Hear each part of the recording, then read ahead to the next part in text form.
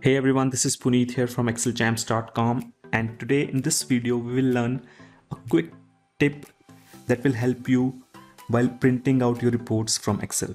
Now here I have a small table with month-wise and year-wise data and I have errors in some of the cells that I don't want to show while taking a printout of this.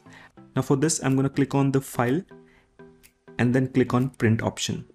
Now as you can see here in the print preview that when I will take printout of this, it will show those errors as it is, right? So now I'm gonna click on page setup and then go to the sheet tab.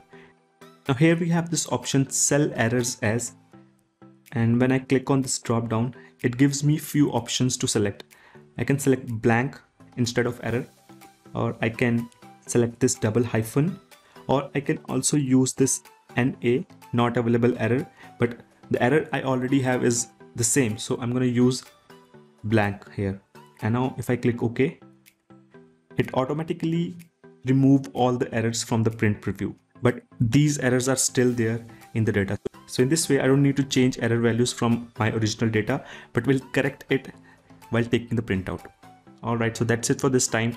And here I have a video for you where I have shared 10 keyboard shortcuts that probably you are not using and make sure to subscribe to this channel because I'll be coming out with a lot of cool Excel tips, tricks and tutorials in coming weeks.